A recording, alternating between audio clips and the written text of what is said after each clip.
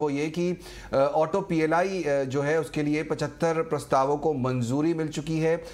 ET नाव स्वदेश पर सबसे पहले ये खबर हमने दी थी आपको, मेरे सहयोगी समीर दीक्षित जुड़ गए मेरे साथ जो ये खबर लेकर आए थे। समीर, सबसे पहले ईटी नाव स्वदेश पर ही हमने ये खबर दी थी, आप लेकर आए थे ऑटो पीएलआई पर। अब जो सरकार को जो यहाँ पर देखने को मिला है, रिएक्शन काफ़ी अच्छा सत्तर हज़ार करोड़ से ऊपर क्या इंटरेस्ट दिखाई दिया है? कौन कौन सी कंपनीज़ को यहाँ पर गो अहेड मिला है? अगर आप डिटेल्स हमारे दर्शकों के साथ शेयर कर सकें?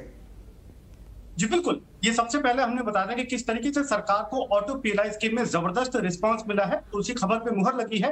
खबर कुछ यूँ है कि सरकार को अब तक पिछहत्तर प्राइवेट प्लेयर्स है, जिसमें टोयोटा जिसमें Hero MotoCorp Maruti Suzuki Bosch TVS Lucas TVS ऐसे जितने भी दिग्गज प्राइवेट प्लेयर हैं, जो ऑटो सेक्टर में हैं, उन सभी ने सरकार को एक तरीके से कमिट किया है निवेश को लेकर के। और ये जो निवेश का कमिटमेंट है, वो चौहत्तर हज़ार आठ सौ पचास करोड़ रुपए का है।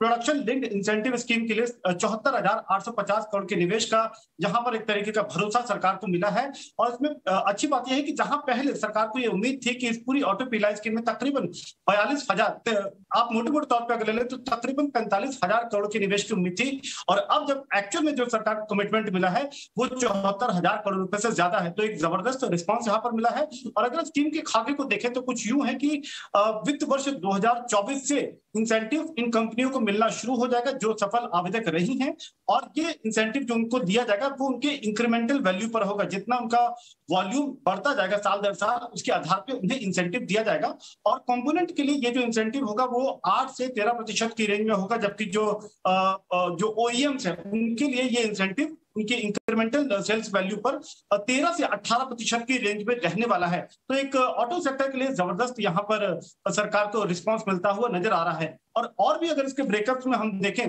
तो जो चैंपियन कंपोनेंट स्कीम है, उसमें सरकार को करीब करीब तीस हज़ार करोड़ का निवेश या कमिटमेंट प्राइवेट प्लेयर से मिलता हुआ यहाँ पर दिख रहा है। तो ऑटो सेक्टर के लिए बड़ी खबर जिसमें सरकार को पीला स्कीम के लिए प्राइवेट प्लेयर से ज़बरदस्त रिस्पॉन्स मिला है।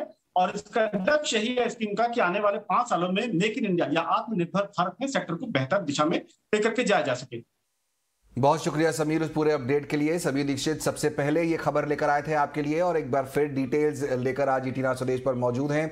ऑटो पीएलआई को जोरदार रिस्पांस मिला है यहाँ पर सरकार की। जैसा समीर बता रहे थे कि पैंतालीस, सैंतालीस हज़ार करोड़ के यहाँ पर रिस्पांस की उम्मीद थी, लेकिन पचहत्तर हज़ार करोड़ के आसपास का रिस्पॉन्स मिला है। अशोक लेलिन टाटा मोटर्स ये सब वो बड़ी कंपनी है। बजाज ऑटो टीवीएस इन सबको यहाँ पर इनके प्रस्ताव को मंजूरी मिली है। और मेक इन इंडिया जैसा कि बता रहे थे समीर भी आत्मनिर्भर भारत की तरफ़ लगातार सरकार का फोकस है। वहीं उसी तरफ़, उसी डायरेक्शन में ये कदम भी आगे बढ़ा है। आपके सामने वो सारे स्टॉक्स जिनको